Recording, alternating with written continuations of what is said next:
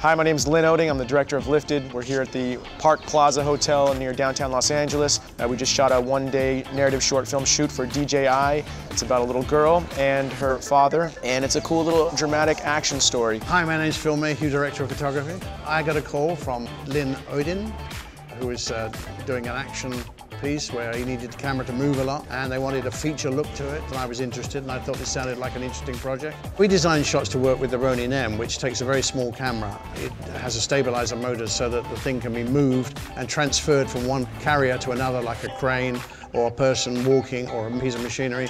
We had an RC car that had a Ronin M mounted to it. We went under a row of tables. We would not have been able to do that with a traditional Steadicam. The Ronin M allowed the RC car to keep the shot very stabilized. We shot the whole thing in seven hours due to the child labor law, and that was possible with the DJI Ronin M because of our ability to get a lot of setups in a short amount of time.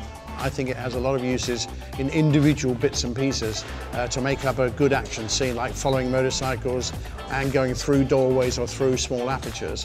One of the setups we had today was with the DJI S1000. It was about 45 feet up in the air and it dropped with a chandelier in the foreground to reveal the little girl running down the hallway. We did a handoff where we used the Ronin M, we caught it, clipped some zip ties, and went straight from an aerial move into a handheld move as she ran up the stairs.